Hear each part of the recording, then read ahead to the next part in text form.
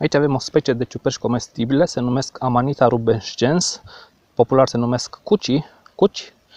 Deci cam așa ceva arată, trebuie să aibă uh, pete, puncte gri pe pălărie, iar dacă rupeți ciuperca, la bază trebuie să fie roz și carnea înăuntru a piciorului trebuie să fie rozasină. Deci, cam așa ceva. Ia să rupem piciorul să vedem cum e înăuntru.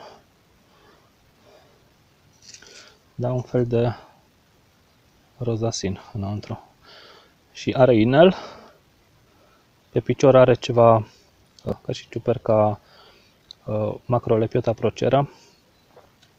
Are pe picior. Iar pălăria arată ceva de genul ăsta. Iar când e tânără, arată așa. Este foarte ușor de confundat cu Amanita panterina, care are puncte albe pe pălărie. E tot așa un maroniu și are puncte albe pe pălărie, doar, doar că diferența e că piciorul nu e roz la Amanita panterina, iar punctele deasupra sunt total albe, nu gri.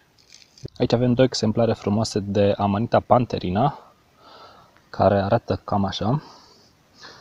Este maronie, pălăria este maronie, iar pe pălărie are puncte albe iar piciorul este alb, prezintă un inel, iar la bază mai puteți găsi încă un inel deasupra bulbului.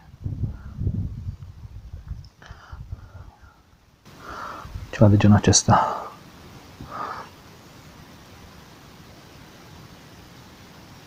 Deci puteți vedea încă un inel mic deasupra bulbului. Lamelele la fel sunt albe, ca și piciorul iar pălăria arată ceva de genul acesta, un maroni. Unele exemplare sunt maronii mai închise, altele puțin mai deschise. Ceva de genul acesta. Se poate, se, po- se poate diferenția foarte ușor de cuci, de Amanita rubescens, prin faptul că piciorul este complet alb și nu, nu la, la baza piciorului nu este roz sau și nu este nici mâncat de insecte sau de viermi.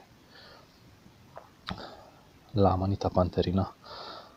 În schimb, la Amanita rubescens, piciorul este rozasin în partea de jos. Și iar când îl rupeți, la fel este rozasin și în interior.